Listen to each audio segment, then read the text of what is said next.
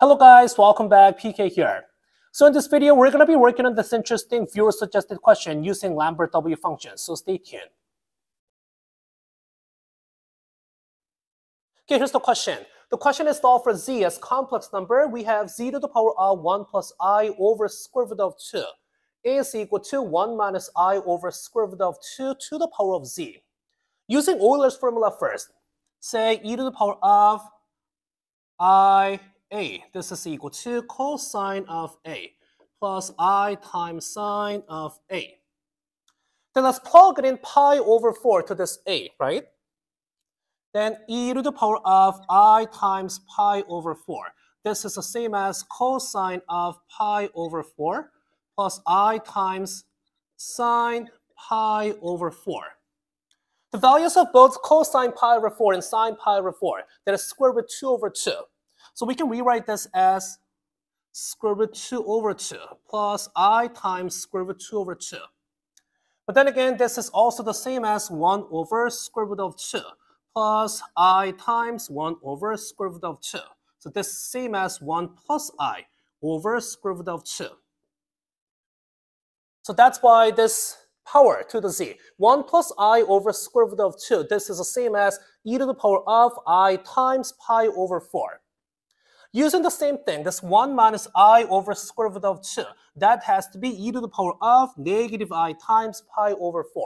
So that's why our equation looks like z to the power of e to the power of i times pi over 4.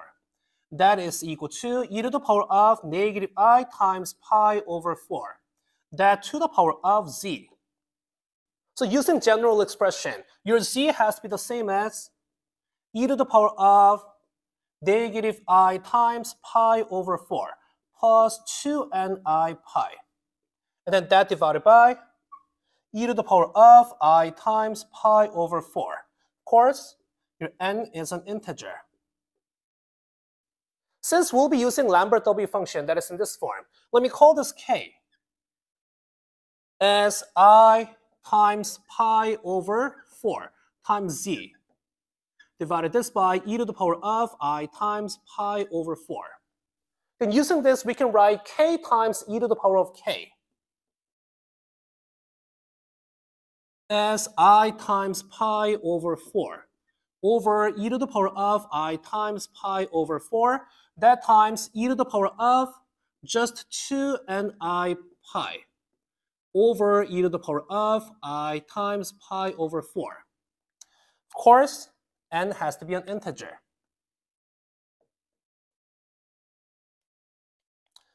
Okay, then let me just call this entire expression as say a, right? Then k times e to the power of k has to be equal to a. So that your k has to be just the same as Lambert W of the a. So knowing how k was equal to i times pi over 4 times z, over e to the power of i times pi over So your z has to be the same as, okay, reciprocal of it. e to the power of i times pi over 4 divided this by i times pi over 4.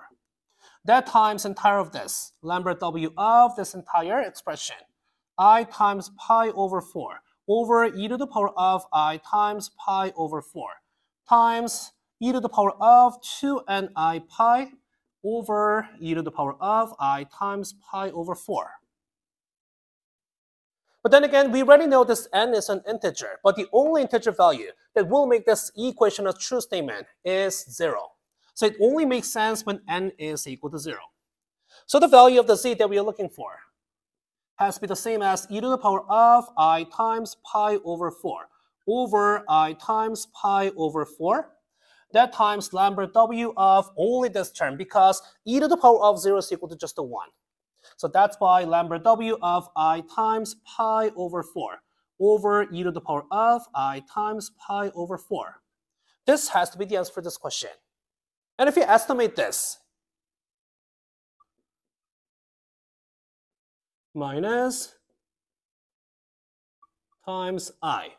So 0.62452 minus 0.16349 times i. Yes, for this question. Okay, so pretty interesting viewer suggested question using Lambert W function. How amazing.